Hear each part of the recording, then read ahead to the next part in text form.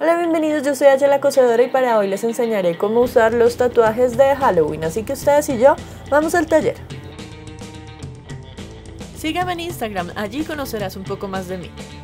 Ya tengo mi base puesta y aquí les estoy mostrando la lámina Sweet Halloween de la colección de My Sweet Tattoo, que saben que lo consiguen en hlacosedora.com. Muchas de ustedes me han preguntado cómo usar los tatuajes de colores sobre colores oscuros, por ejemplo negro, azul oscuro, verde, bueno, estos tonos. Simplemente aquí les estoy mostrando este truco y es rellenar de blanco con esmalte blanco y un punzón o un pincel, un palito de naranjo con la herramienta que ustedes puedan.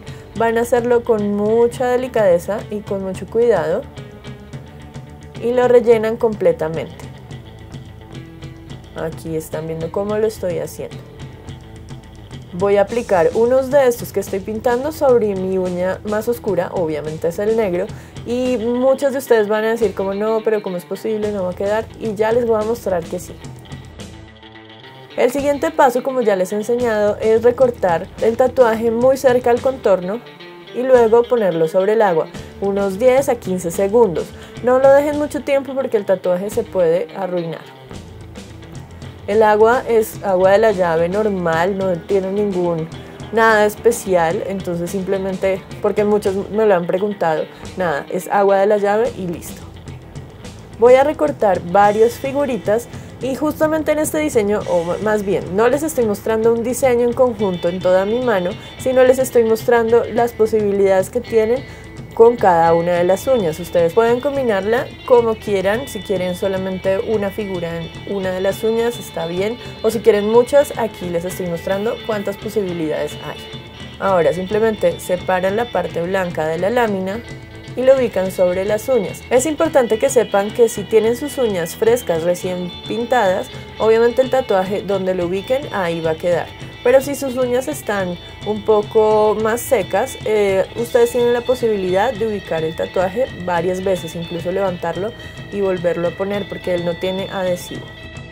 Como me pasó acá, yo no sabía dónde ubicar el gato, así que bueno, creo que corrí todo y listo. Aquí puse la calabaza y sobre blanco obviamente los colores quedan absolutamente perfectos, pero ya saben el truco para ubicarlos sobre otros tonos. Por ejemplo, aquí sobre el negro se ve perfecto el naranja.